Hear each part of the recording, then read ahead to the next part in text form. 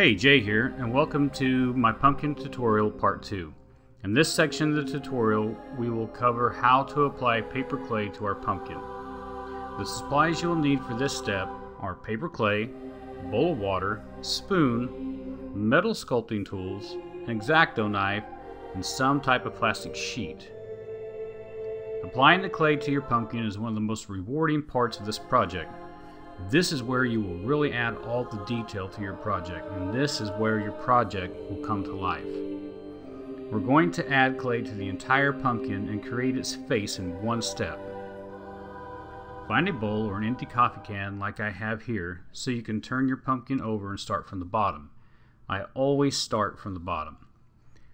Take a handful of clay, smash it out kind of like a hamburger patty, and apply it to the bottom of your pumpkin. Now using either the palm of your hand or the handle of a spoon, start to spread the clay over the pumpkin. Take note, you will need your hand or the spoon to be wet to keep the clay from sticking. As you apply the clay, keep the pumpkin shape in your mind. You may need to bulk up different parts to make it look a little more natural. Also, don't be afraid to apply the clay thick. I've applied clay over half an inch thick and never had problems. Once the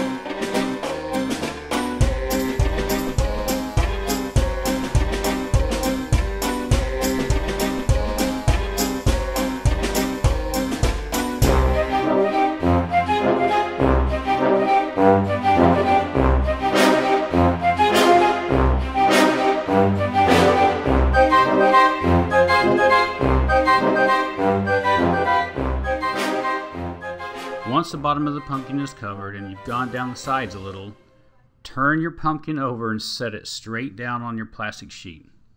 That's right, you're going to smash your wet clay right down on the plastic sheet. But this creates a nice flat surface on the bottom of your pumpkin, and once this surface dries, your pumpkin will set on any flat surface and won't be wobbly.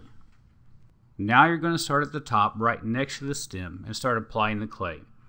You will want to roll your clay into a hot dog type shape and lay it next to the stem. Then start to work out the edges. This will make the top of your pumpkin a little more defined.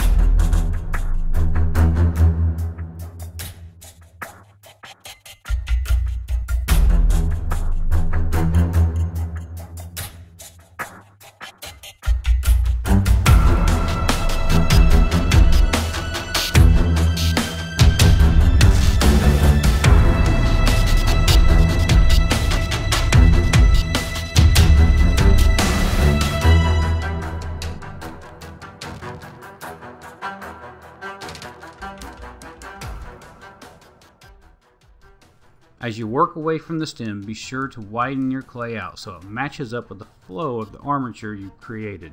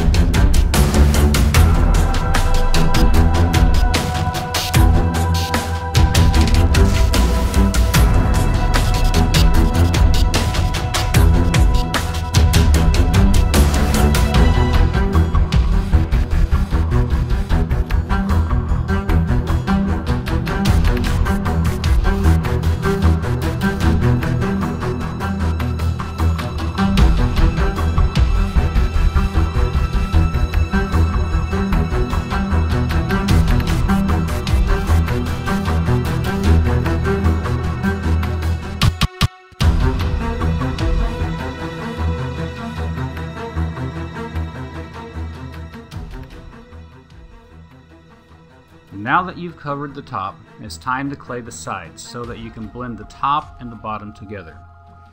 When you're blending clay together, it helps to use a little water. You should be able to work the clay together until there is no longer a separation line between the two pieces of clay.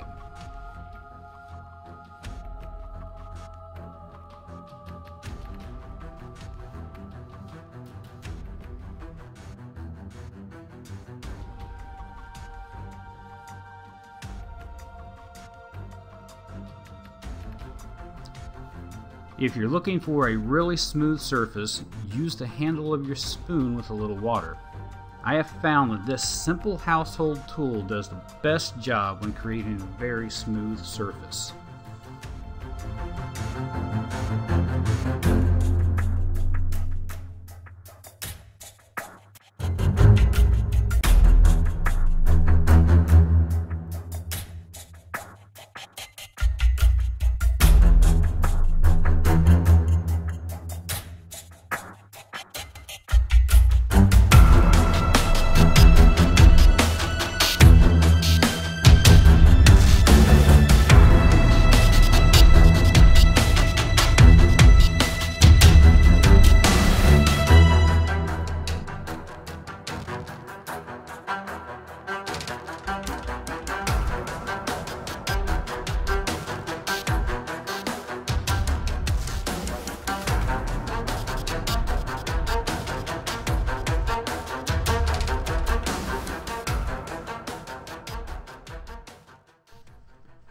Just keep working your way around the pumpkin, one section at a time, until you've completely covered the pumpkin.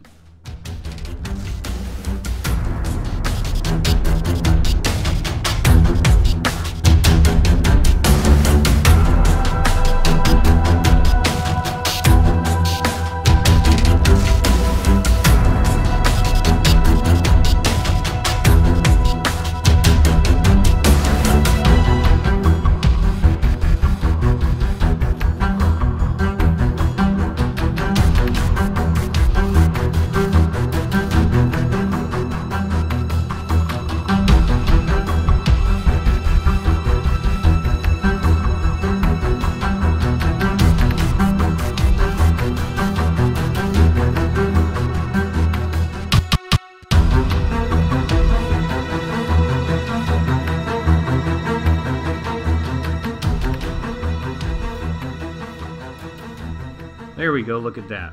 We have one very realistic looking pumpkin on our hands.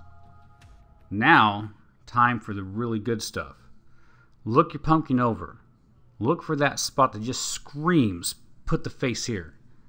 Take your X-Acto knife and lightly start drawing your face into the clay. I usually start with the eyes. Once you have a nice outline and you like the way it looks, it's time to go over it again, digging deeper. But if you don't like the way the outline looks, or if you messed up, you can simply erase it by putting a little water on your finger and rub the clay back together. As you dig deeper with the knife, keep in mind, you're not going to cut through the paper mache base. In this step, you're going to just cut through the clay and remove each section from the pumpkin.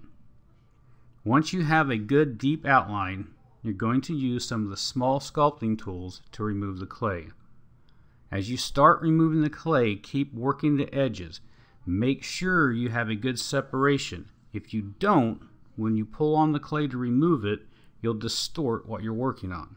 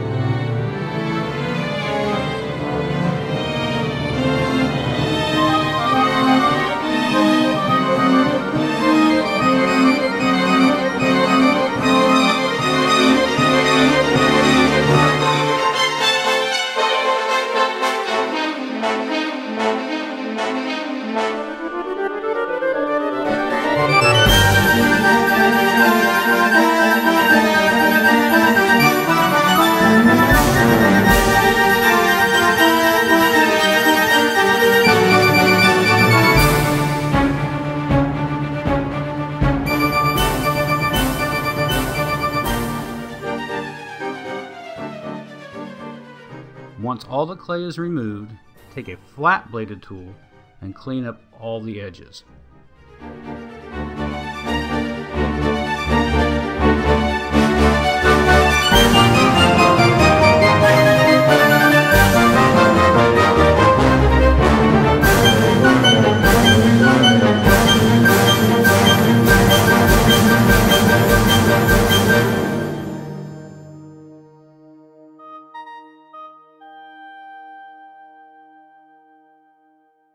Great, look at that.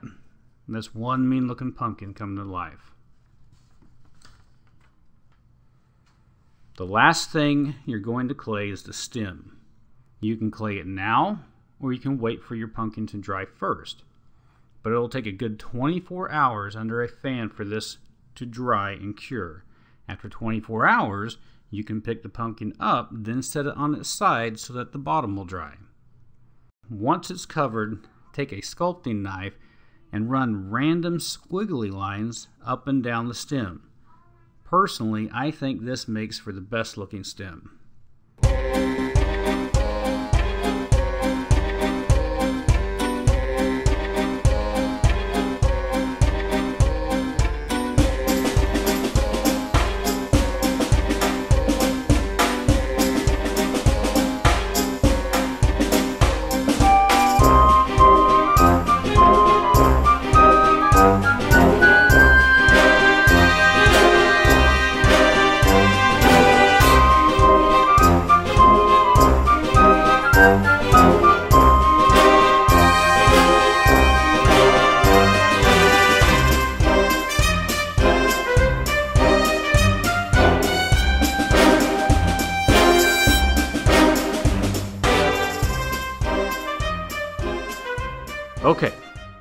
Is now set for a day or two and is now dry enough to work with. First, we're going to unstuff the pumpkin. Find something nice and round in shape. I have found that a coffee can lid works great. Place it on the bottom of your pumpkin and trace a line around it. Next, and be very careful here so you don't cut yourself. Take your X-Acto knife and slowly start cutting along the line. Go around fully once then do it again, digging deeper this time. Do this until you've cut deep enough to pull this piece from your pumpkin. Now, cut away any tape or bag that you see, reach in and start pulling out the paper. Once all the paper is out, you should be able to reach in and easily pull out the plastic wrap. If you did the plastic wrap step, you should also be left with a very clean looking inside.